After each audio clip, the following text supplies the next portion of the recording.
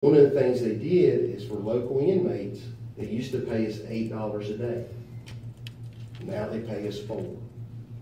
For state responsible inmates, they used to pay us fourteen dollars a day. Now they pay us twelve.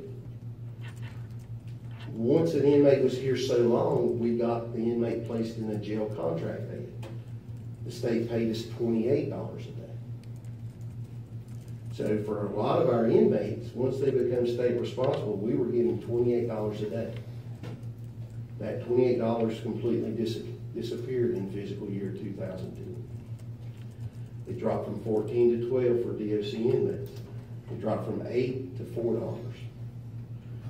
Uh, we determined once that, uh, if we were still being paid at these levels, you would have about an additional three million dollars coming into the localities.